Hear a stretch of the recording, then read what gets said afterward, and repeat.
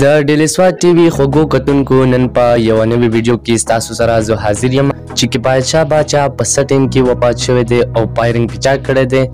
نو په ویډیو کې د مخکې تلو نه به زه تاسو ته یو ګزارش وکړم که تاسو زموږ دا چینل نه وي سبسکرایب کړی نو تاسو دا چینل سبسکرایب کړئ چې تاسو ته داسې د انفارمیشن نه ډکې ویډیوګانې په ټایم میلاوي نو کتونکو کفایت شاه باچا چې کله د جمعې مانځله راتلو نو په دغه ټیم کې په دو باندې پایرنګ شوی دی او په دغه ټیم کې د د سره یو وړوکی شان ماشوم مو چې هغه هم په دې فایرنګ کې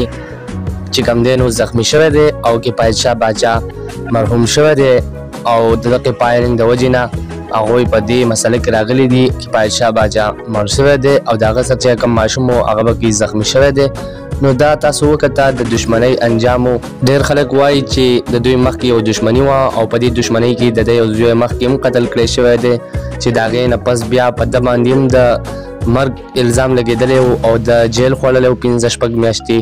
او د پرون چې کله دی نو د جمعې مانځل راتلو او په دغه ټیم کې په د باندې د نامعلومو خلکو نه فایرنګ شوی دی او د دې د وجې نه دی قتل کړی شوی دی